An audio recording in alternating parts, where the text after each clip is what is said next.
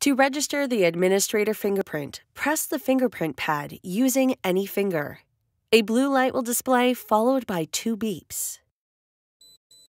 Continue to hold until the light displays blue, followed by a single beep. Place the new administrator's fingerprint on the fingerprint pad. The blue light will turn off and the lock will beep.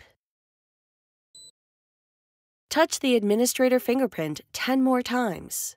Each touch will be followed by a short beep.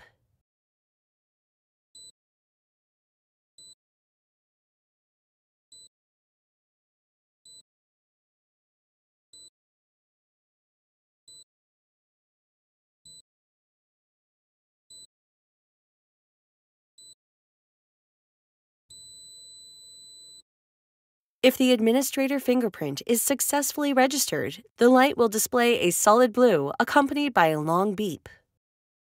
If the administrator fingerprint fails to register, a red light will display accompanied by four short beeps.